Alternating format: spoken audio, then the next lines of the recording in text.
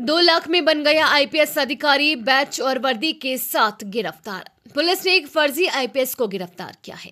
गिरफ़्तार फर्जी आईपीएस के पास से पुलिस ने एक आर एस दो सौ पल्सर बाइक और खिलौने की एक पिस्टल तथा कई दस्तावेज़ भी बरामद किया है।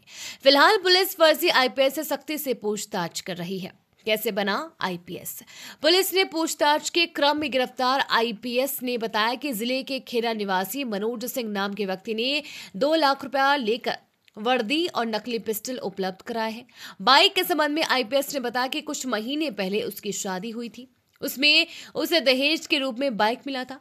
फ़िलहाल पुलिस मामले की जाँच कर रही है। पुलिस का कहना है कि अब मनोज सिंह के बारे में जानकारी ली जा रही है। बहुत जल्द उसकी भी गिरफ्तारियों की जाएगी। गिरफ़्तार फर्जी आईपीएस की पहचान बिहार के लखीसराय ज़िले के हलसी थाना अंतर्गत गोवर्धन बिघा निवासी बबलू मांझी के रूप में पुत्र मिथिलेश कुमार के रूप में हुई है। संदिग्ध रूप से घूमते हुए धराया फर्जी आईपीएस।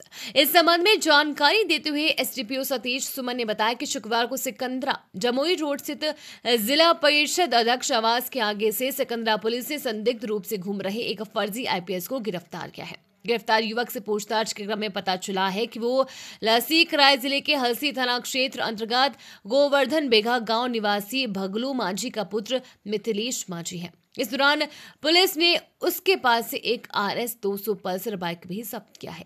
साथ ही युवक के पास से दो लाख का फर्जी cheque, PAN card, Aadhaar card एवं एक मोबाइल सहित एक खिलौने वाला पिस्टल को जब्त किया है। फ़िलहाल सिकंदरा पुलिस के द्वारा जाँच पड़ताल की जा रही है।